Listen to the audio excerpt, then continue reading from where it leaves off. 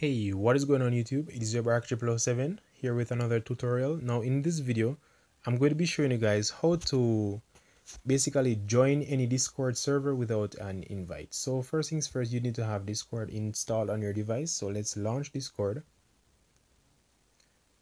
And let's give it some time to load. And as you can see, we have quite a lot of options here. So let's click on the plus icon to the top left of the screen and let's join a discord server. As you can see we have join a discord server down here. So let's click on that. And now it's saying that we needed an invite link.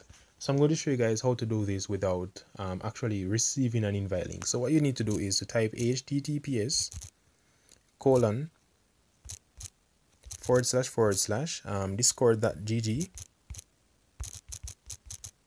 forward slash and enter whatever you want. So let's say Biden and let's click on join.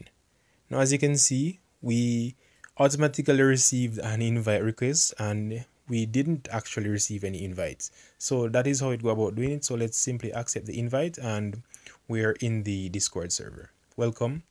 So that is how it go about joining a discord server without an invite. So I hope this was helpful to you guys. Thank you guys for watching.